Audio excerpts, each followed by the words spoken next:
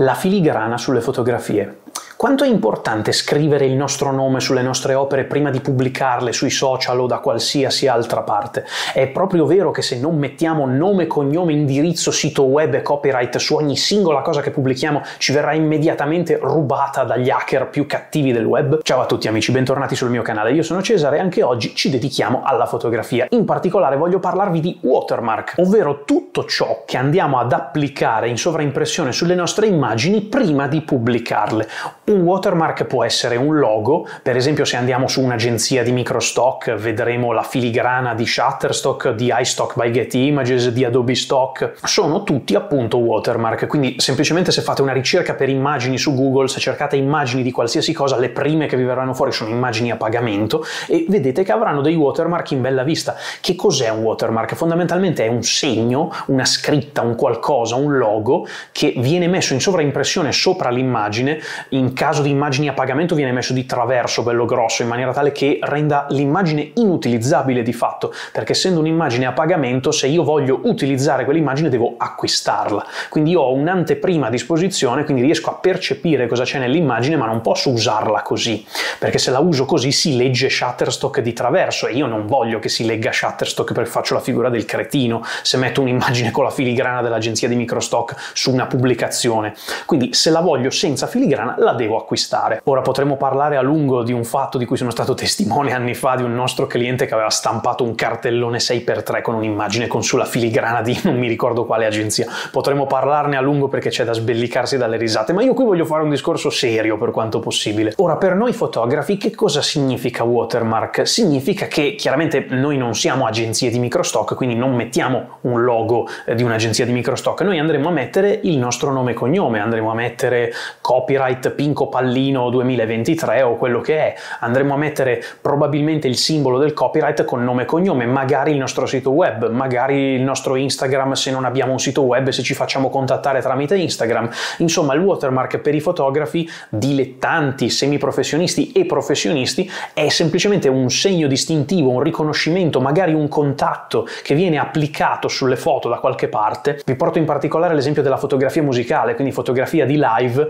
è pressoché impossibile impossibile vedere un'immagine senza un ghirigoro strano, un logo strano di qualche fotografo negli angolini da qualche parte. È pressoché impossibile. Perché? Perché i fotografi in ambito musicale raramente vengono retribuiti, quindi si recano a fare le fotografie a titolo quasi esclusivamente di volontariato e quindi la visibilità è l'unica moneta di pagamento che possono ottenere in cambio della loro prestazione e quindi mettono watermark da tutte le parti. Che cosa significa un watermark per un fotografo? Fotografo. Nella testa di chi lo mette il watermark è una sorta di targhetta identificativa. Questa fotografia appartiene a, perché di fatto per la legislazione italiana, ma non solo, c'è cioè una convenzione internazionale, chi preme il grilletto è detentore dei diritti di quell'immagine, che significa che può farne quasi quello che vuole, a meno che non ci siano delle persone ritratte e in quel caso ci deve essere il consenso anche delle persone ritratte. Ciò non di meno i diritti sono detenuti da chi ha premuto il grilletto, quindi ci deve essere un consenso magari per la vendita delle immagini su piattaforme di microstock da parte delle persone ritratte, ma i diritti di vendere sono unicamente del fotografo, quindi la persona ritratta tratta non può vendere le immagini perché non sono sue, sono del fotografo. Dunque un fotografo quando applica un watermark che cosa sta facendo? Fondamentalmente sta mettendo a chiare lettere questa foto è mia, nome e cognome, non usare senza permesso.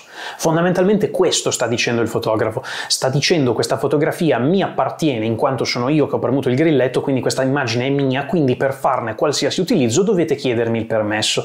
Ora io vi posso testimoniare che i musicisti ritratti da questo punto di vista sono di solito molto corretti perché solitamente quando qualcuno a titolo, come vi dicevo, di volontariato va ai concerti e attenzione nel pit, non tra il pubblico, perché il pubblico in teoria non ha il permesso di scattare foto a un contesto del genere, non con strumentazione professionale perlomeno col cellulare sì, ma con strumentazione professionale sei un fotografo accreditato che quindi sta in primissima fila nel pit.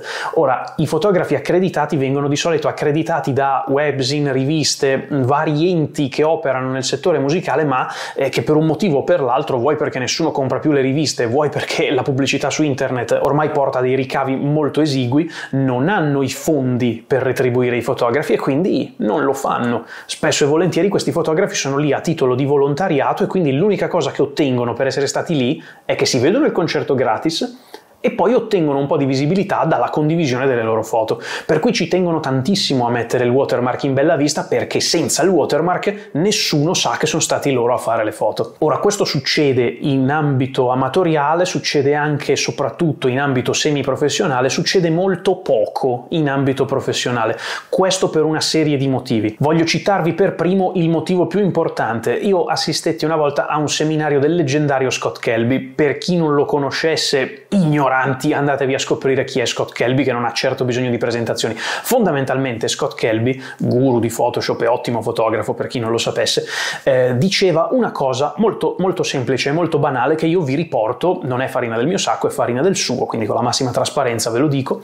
Lui, durante un'intervista, affermò che non era suo interesse, dopo anni di carriera, magari agli inizi sì, ma lui non crede nell'applicazione del watermark sulle fotografie.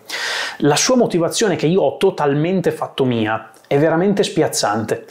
Nel momento in cui io metto un watermark sulla mia immagine, fondamentalmente sto rovinando l'esperienza di fruizione della mia bellissima immagine con un arzigogolo bruttissimo, nel, nel migliore dei casi è, un, una scritta molto fine, ma nel peggiore dei casi è un accrocchio, un ghirigoro orrendo, magari fatto con dei font gratuiti trovati online.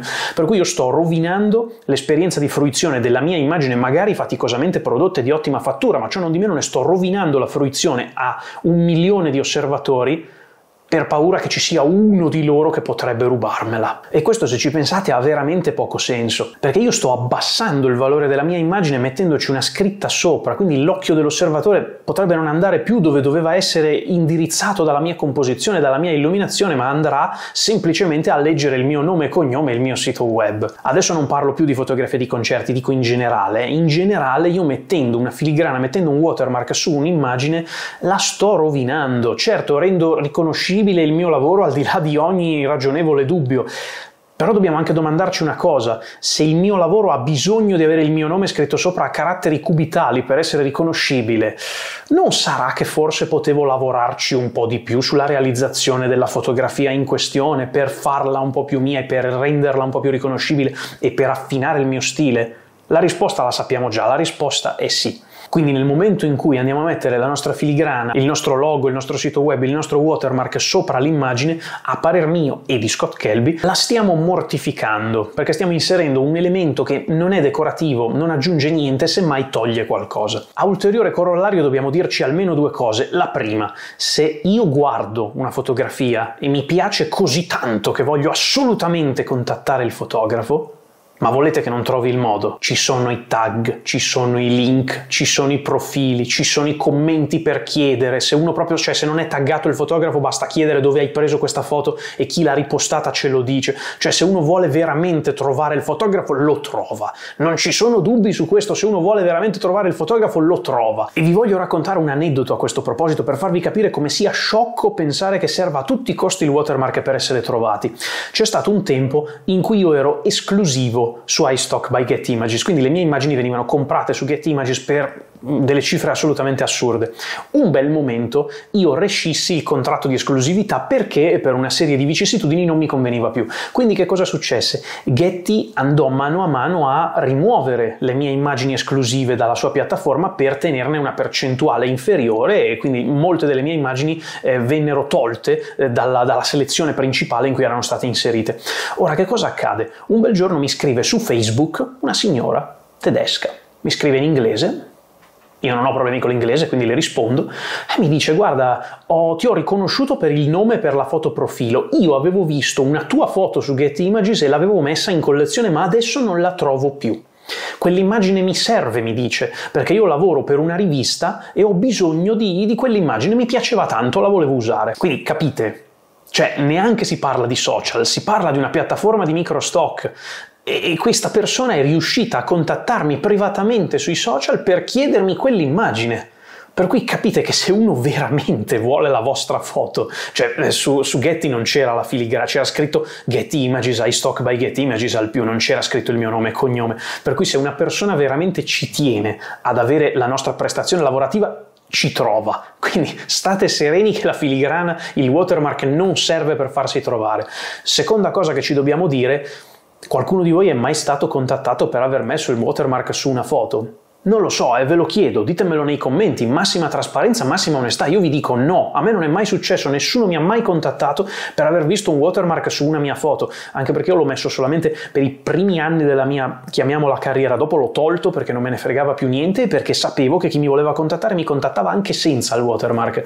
Eh, fatemi sapere se qualcuno di voi crede che mettere il watermark serva a qualcosa, se qualcuno di voi viene contattato tramite il watermark posto che questo sia possibile perché il watermark non è cliccabile e non conduce al vostro sito, quindi eh, tutt'al più sarete contattati tramite un tag. Però eh, parliamone nei commenti perché sono veramente interessato a capire e vedere se ci sono esperienze diverse dalla mia. Non ultimo, e mi rifaccio sempre a quanto appreso dal buon Scott Kelby, che cosa succede nel momento in cui noi mettiamo la nostra foto senza watermark e quindi un milione di persone fruisce la nostra opera, che bella questa foto, ah meravigliosa, like, commenti, eccetera, eccetera, e uno tra questi decide di rubarcela. Che cosa succede? Io mi ricordo la risposta di Scott Kelby e lui dice, ma io non aspetto altro, io sto pregando che qualcuno me la rubi. L'intervistatore basito dice, ma come? Cioè, perché?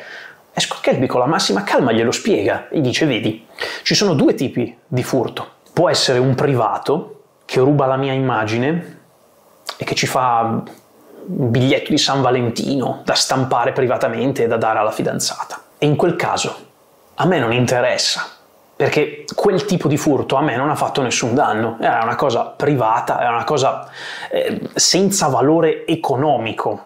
Cioè, mettiamola così, se quella persona avesse voluto essere corretta, avrebbe magari comprato la mia foto dalla piattaforma di microstock invece di rubarmela e a me sarebbero arrivati 10 cents. Per cui non ci ho perso così tanto da quel micro furto. È una cosa che non mi ha arrecato nessun danno, tanto è un privato cittadino, non me l'avrebbe mai comprata, me l'ha rubata. Amen, non ho ricevuto un grosso danno, non mi interessa. Per cui di questa cosa non mi curo, cioè non ho tempo di occuparmi di un furto di 10 centesimi, cioè se uno mi ruba 10 centesimi non ho il tempo di occuparmene, mi costa di più occuparmene piuttosto che i 10 centesimi. Prendiamo il secondo caso invece, mi rubano un'immagine per farci qualcosa di importante a livello economico. Il New York Times mi ruba una foto e ci fa una copertina. E lui sorride, sornione, dice: Ma io non, non, vedo l'ora che succeda una cosa del genere. Perché? Perché se da una regolare trattativa e io una volta ho condotto una trattativa come questa, e attenzione, io una volta ho contattato una fotografa del National Geographic quindi fotografa blasonata, americana, brava, una di quelli bravi.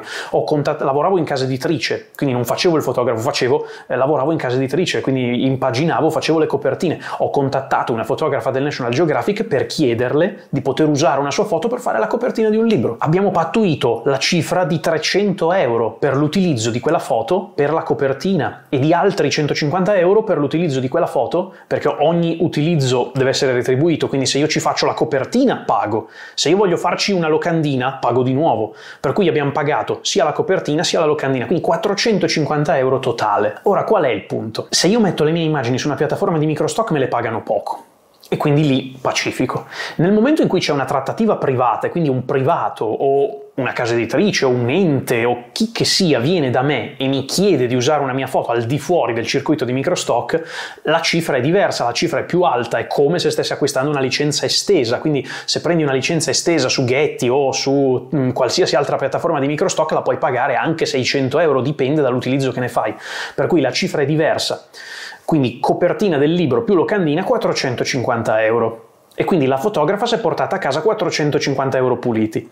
Ora, che cosa sarebbe successo se io non avessi chiesto il permesso? Ora, trattandosi di una pubblicazione piccola, è possibile che la fotografa in questione non se ne sarebbe mai nemmeno accorta. Nel caso del New York Times, voi immaginatevi il New York Times o un altro giornale importante, quello che volete, la rivista Time, Vogue, quello che volete, io donna, qualsiasi magazine, immaginatevi che cosa succede se un magazine importante mi ruba una foto, quindi la prende, la pubblica senza il mio permesso, e io me ne accorgo. Ed è probabile che io me ne accorga, perché magari ho raffinato uno stile un po' personale in vita mia e quindi magari qualche mio amico, conoscente o contatto legge quella rivista e mi dice cavolo, che bella foto c'è in copertina, sembra una delle tue Cioè lo scopri, è difficile che tu non la scopra una cosa del genere. Se ti rubano una foto per farne un utilizzo alto a livello economico e di, di tiratura, te ne accorgi. E cosa succede se te ne accorgi? Che fai causa a chi l'ha pubblicata e la vinci perché è automatico, la vinci in automatico perché hai ragione tu perché la foto è tua, tu puoi dimostrare che la foto è tua, perché ci sono i metadati dell'immagine, tu hai l'originale con i metadati in cui c'è scritto che è stata scattata dalla tua macchina fotografica con il serial del tuo obiettivo e il serial del tuo corpo macchina, quindi hai automaticamente vinto. E a quel punto non gli chiedi più 450 euro, gliene chiedi 4.000. Fai una causa e chiedi 4.000 euro alla rivista Time o a Vogue, perché loro hanno tratto un utile dalla pubblicazione della tua fotografia, dalla pirateria della pubblicazione della tua fotografia. Quindi a quel punto gli chiedi un risarcimento. E Scott Kelby questo diceva, diceva io non vedo l'ora che pubblichino una fotografia senza il mio permesso, perché se normalmente tramite microstock prenderei 10 cents, tramite trattativa prenderei 400 dollari, se me la rubano prendo 4.000 euro. Poi dipende da chi te la ruba ovviamente, dipende dall'importanza, dalla tiratura di chi te l'ha rubata, però capite che il guadagno è molto maggiore se fai causa a qualcuno che te l'ha rubata, che a qualcuno che l'ha pubblicata in maniera fraudolenta senza chiederti il permesso. Per tutta questa serie di motivi io non metto mai il watermark sulle mie immagini, tutt'al più lascio i metadati nella mia fotografia.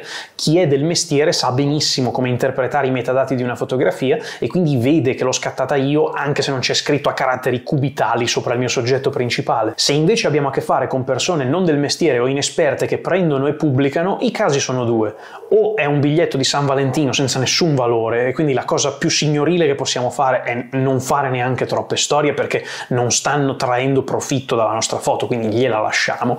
Nel caso in cui invece stiano traendo profitto, facciamo una bella causa subito e gli chiediamo i danni. E attenzione, questo vale anche per i social media. Vi faccio un esempio su tutti. A me capita spesso, nonostante io Instagram non lo usi più, fondamentalmente io non lo uso più perché mi ha deluso come piattaforma, mi ha deluso la gestione di meta. A me prima Instagram piaceva molto. La gestione di meta non mi è piaciuta al punto tale che io ho quasi smesso di utilizzarla quella piattaforma, non mi interessa più. Ciò nonostante mi capita spesso, abbastanza spesso, una volta al mese, che ci siano delle pagine che mi scrivono privatamente e mi chiedono il permesso di utilizzare una mia foto di ripostarla per eh, fare pubblicità a questo, a quell'altro, metterla dentro magari in un pacchetto in cui promuovono quello che vogliono promuovere loro, non ha neanche molta importanza. Ora, solitamente io rispondo di sì, perché in questo caso ho piacere che il mio lavoro venga condiviso, loro comunque ti taggano, ti taggano, non ti mettono il watermark, ti taggano nel, nella descrizione, quindi chi è interessato può cliccarmi e venire a vedere chi sono. Però io il watermark non glielo metto in ogni caso perché non mi interessa, preferisco essere cliccato nei tag piuttosto che non poter essere cliccato nel watermark che oltretutto rovina e deturpa anche la mia immagine.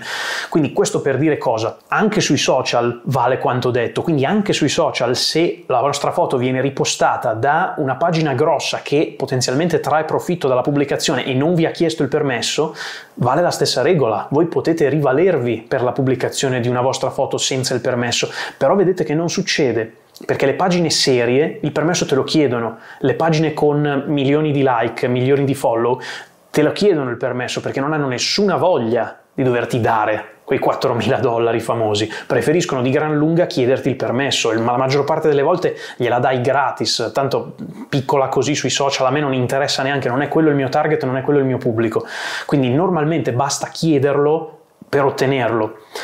Quando non ve lo chiedono, quando la prendono in maniera fraudolenta, ecco che lì potete rivalervi. E attenzione, se ve la prendono in maniera fraudolenta, e io lo so perché mi è capitato nella vita che clienti mi chiedessero di rimuovere filigrane e loghi di fotografi e creator vari, quindi nel momento in cui c'è una fotografia con la vostra filigrana, col vostro watermark, massima premura del cliente sarà rimuovere il vostro watermark, facendo un crop o andando a cancellare con timbro clone o altri strumenti di fotoritocco. Quindi eh, state sereni che il cliente ignorante non è che vi riconosce un diritto sull'immagine perché avete messo il watermark, anzi si darà la premura di cancellarlo. Questo è semplicemente per dirvi la mia opinione. Per quanto mi riguarda, utilità del watermark pari a zero fotonico, mentre metadati e tag assolutamente utili, ma non vanno a incidere sull'immagine perché sono invisibili, sono visibili solamente a un esame più attento da parte di chi l'ha scaricata e sta per utilizzarla. A questo punto, amici, come sempre vi chiedo, lasciatemi un commento per dirmi cosa ne pensate, se siete d'accordo con me oppure se avete esperienze diverse. E badate bene, se voi mi scrivete semplicemente ah sono d'accordo con te 100%,